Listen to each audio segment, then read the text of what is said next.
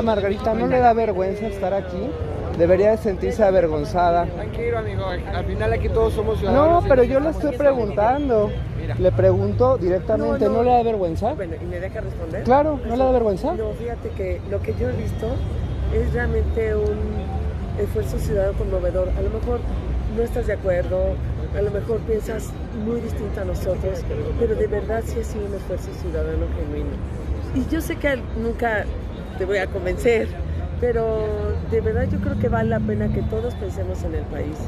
Y, y yo he visto que es un país que crece si todos aportamos. O sea, ¿no les da vergüenza ahora usted y su marido querer tener financiamiento público otra vez para tener un partido? ¿No le da vergüenza? ¿No es por eso de veras? No, no, no. ¿No le da vergüenza toda la ¿y gestión de su marido?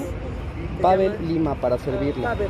Mira, no, no, no, al contrario. Yo realmente cuando yo sé muy bien lo que hizo, lo que estuvo haciendo Felipe, siempre defendió a la patria, siempre se presentó con sus mejores talentos. O sea, usted defiende, defiende todo lo que ocurrió, defiende las estoy- imputaciones que están ver, haciendo ahora respecto al cártel de No me Sinaloa. Ah, no, Ah, adelante, por eso le pregunto. No, no me deja ni responder. Claro que sí, respóndame. Sí. Por eso le estoy grabando además, me No, interesa Pavel, tener su, Pavel. su testimonio aquí. No, Pavel, no creo que te interese como testimonio, sino a ver, sino como... La dejo ¿por qué para no? que no diga que le interrumpo. Sí me interesa, Pero ¿eh? Si no, no le creo- preguntaría. yo sí creo que primero al crimen organizado sí hay que enfrentar. Sí hay que enfrentar. Yo sí te aseguro que se enfrentó con todo lo que se Y era y todo el tema de seguridad.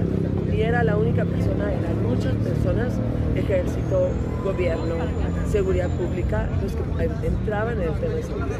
Y yo creo que fue muy valiente de enfrentar al crimen organizado. O sea, usted Ojalá considera que hay valentía.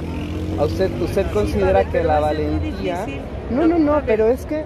Es que... Es que no te voy a tratar de convencer. No, pero, pero yo no estoy tratando que me convenza.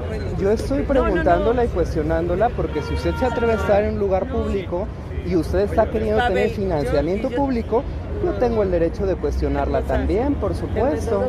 O sea, por ejemplo, también ahora a mí eh, de repente me parece... No, pero sí te voy a precisar. Dígame, dígame. No por financiamiento público. Claro que ¿Sabes sí. que todo lo que